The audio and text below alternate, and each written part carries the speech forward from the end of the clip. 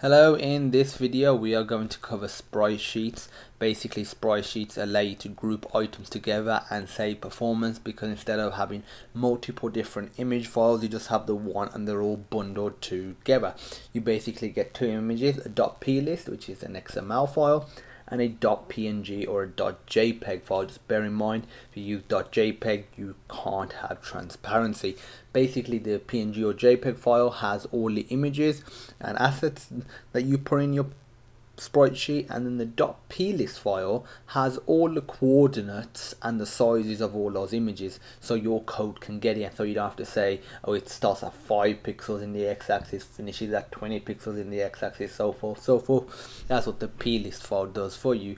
So if we were to right click new file go to sprite sheet you can't set the size because that is dependent on what what are its content and the properties you set. So I'm just gonna call it sprite sheet.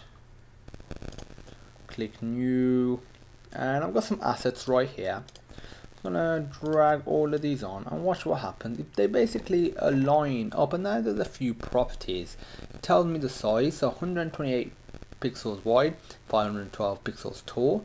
We can allow any size. By doing this, we don't just allow multiples of 2.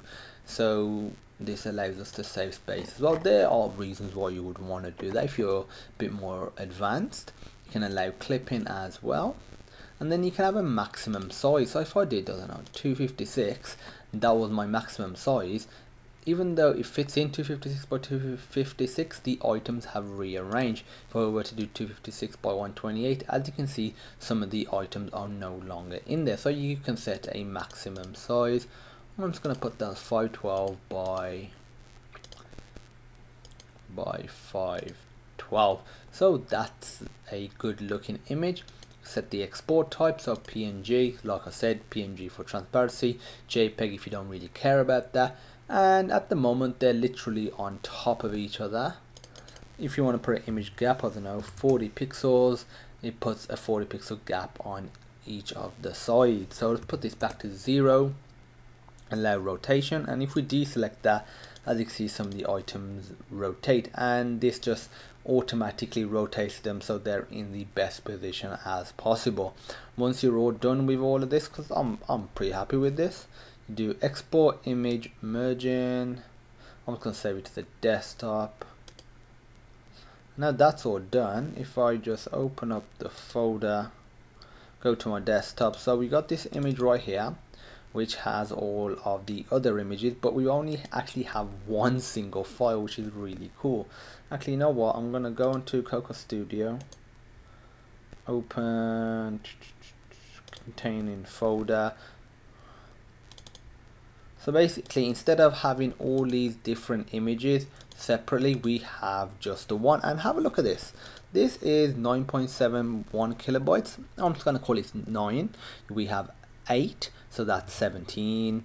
Let's just say 6, 23, 29, 35 and 41 kilobytes in total space. If we go to desktop look it's 25.8 kilobytes. That is that's crazy that is. So we've saved a shit ton of space. So oh, we saved almost 40% of storage space and this would compound when you have loads of images loads of sprite sheets. So your thingy gets smaller your application your application gets more efficient so sprite sheets are a great thing. And like I mentioned before the .plist file just basically contains all the different codes and positioning of what each one of these sprites is. So in code, let's say I wanted the golden egg, I wouldn't have to specify where it starts. You just get, let's say, golden egg from here, and you would get just that particular part of the PNG. So if you have any questions, feel free to post them on sonarlearning.co.uk forward slash questions.php. We haven't covered how to actually access your sprite sheet via code. That is simply because Cocos Studio doesn't support code.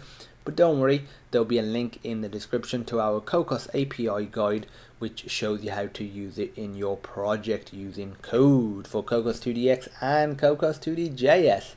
And as usual, thank you for watching and I hope you have a great day.